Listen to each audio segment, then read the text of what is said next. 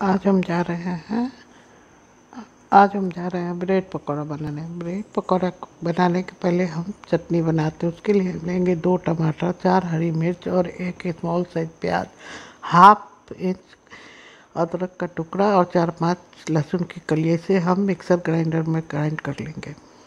और अब हम चलते हैं ब्रेड पकौड़ा की सामग्री बताते हैं। सबसे पहले हम एक बाउल लेंगे और उस बाउल में हम लेंगे चार बड़े साइज़ के उबले हुए आलू। और आलू को हम अच्छी तरह से मैश करते जाएँगे।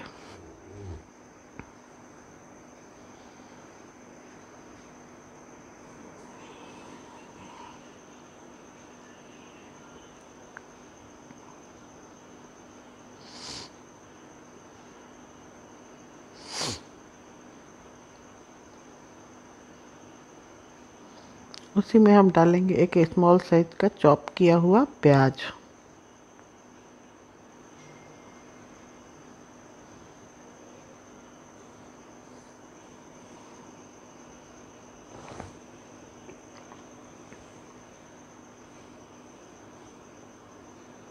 प्याज और आलू को हम अच्छे से मिक्स करेंगे। उसमें डालेंगे हम हाफ़ टेबल स्पून चाट मसाला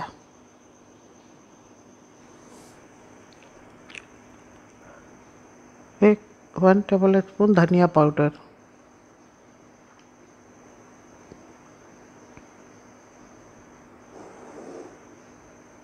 वन टेबल स्पून लाल मिर्च पाउडर लाल मिर्च पाउडर आपके स्वाद के अनुसार। हाफ़ टेबल स्पून जीरा पाउडर और नमक आपके स्वाद के अनुसार। और इन सारे सामग्रियों को हम अच्छी तरह से मिक्स करेंगे।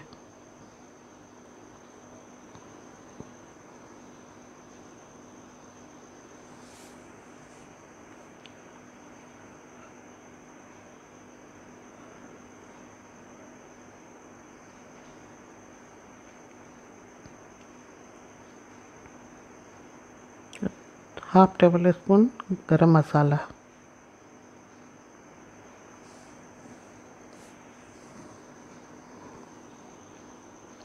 अब हम बैटर बनाएँगे। बैटर बनाने के लिए हम लेंगे दो बाउल बेसन। बेसन आपको जिस क्वांटिटी में बनाना हो, उतना बनाइए। क्योंकि हमें ज़्यादा बनाना है और इसका बैटर गाढ़ा भी होता है, थोड़ा ज़्यादा ही बेसन लगता है। वन टेबल स्पून नमक। वन हाफ़ टेबल स्पून हल्दी पाउडर।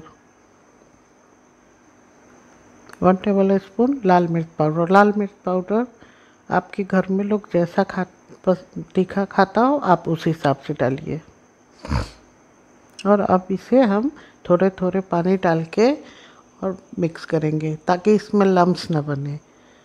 और इसे मिक्स करके हम रख देंगे। और अब हम लेंगे एक स्लाइस ब्रेड।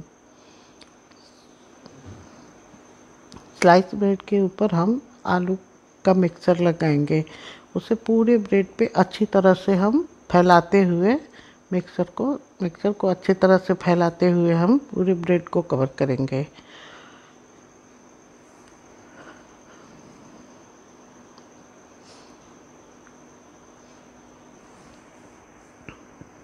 और ऊपर से हम एक स्लाइस ब्रेड से उसे अच्छे से ढक देंगे।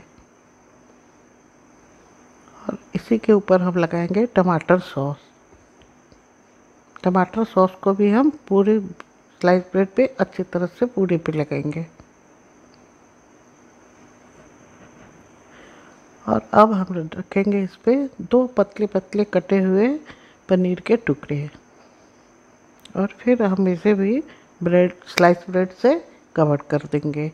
और फिर लगाएँगे हम टमाटर सॉस। अगर आपके पास हरी चटनी हो तो आप वो लगाइए। क्योंकि मेरे पास आज हरी चटनी अवेलेबल नहीं था तो मैंने नहीं लगाया। और अब हम लगाएँगे, डालेंगे इस पर चीज़।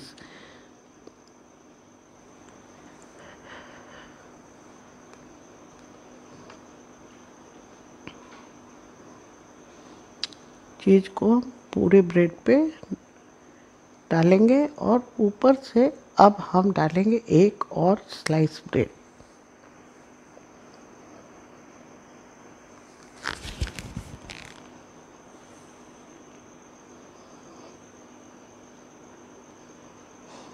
मैं आपको एक और ब्रेड बन, डाल के दिखाती हूँ। ब्रेड के ऊपर हम लगाएँगे पूर, आलू का मिक्सचर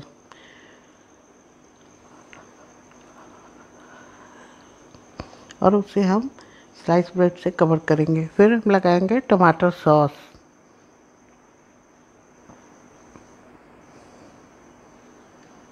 और और इसी के ऊपर हम डालेंगे दो पतले पतले कटे हुए पनीर के का स्लाइस और इसे हम फिर एक स्लाइस ब्रेड से कवर कर देंगे। और हम फिर लगाएँगे टमाटर सॉस या ग्रीन चटनी।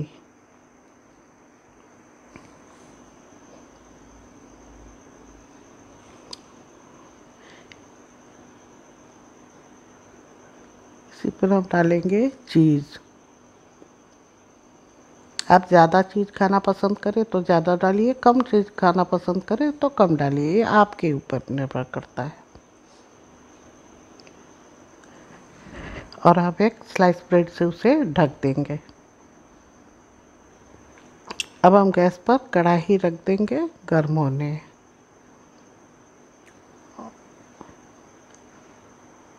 और उसी में हम डालेंगे तेल। और जब तक हमारा तेल गर्म होता है, हम अपने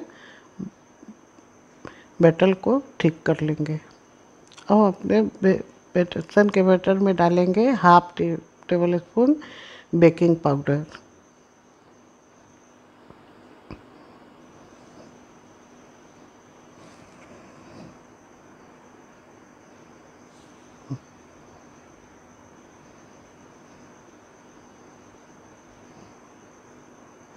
अब एक चम्मच की सहायता से हम अपने बैटर को चलाते हुए देखेंगे कि वो कहीं ज़्यादा गाढ़ा या पतला तो नहीं है। जब हमें लगे कि हमारा बैटर अभी ज़्यादा गाढ़ा है तो हम इसी में थोड़ा पानी ऐड कर देंगे।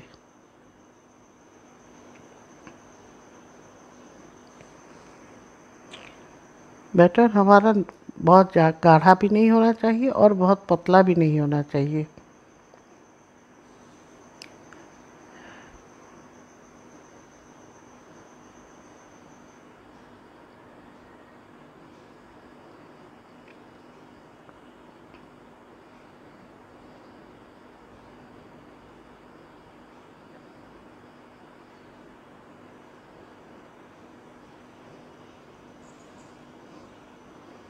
हम अपने ब्रेड पकौड़े को अच्छे से चारों, सबसे पहले चारों तरफ़ से उसे हम डिप करेंगे। चारों तरफ़ से डिप कर, करेंगे, ध्यान रखें, हमारा ब्रेड टूटे नहीं। उसके बाद अपने हाथों के सहायता से हम इसे अच्छे से इस पर बेसन लगाएँगे। हमारा तेल भी उधर गर्म हो गया है। अब इसे हम आराम से तेल में डाल देंगे।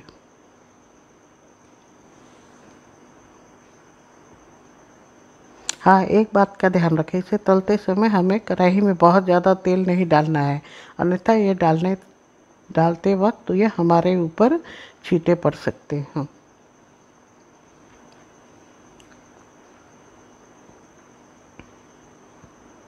जब हमें लगे कि हमारा पकौड़ा नीचे से अच्छे से सिक गया है तो इसे हम ध्यान से और सावधानी पूर्वक पलट देंगे।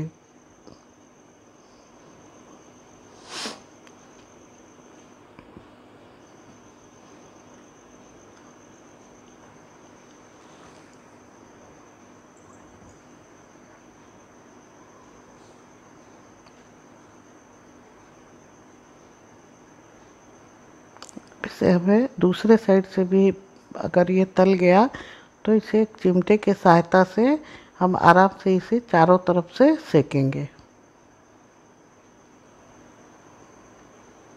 ये खाने में बहुत ही बढ़िया लगता है।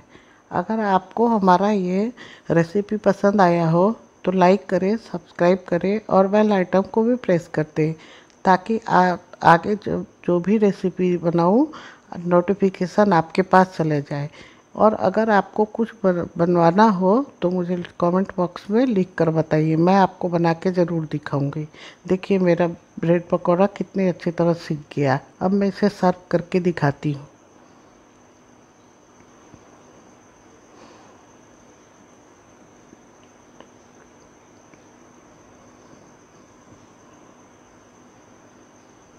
देखिए, मेरा ब्रेड पकौड़ा तैयार हो गया। अब इसे गरम गरम आप चटनी के साथ सर्व करें।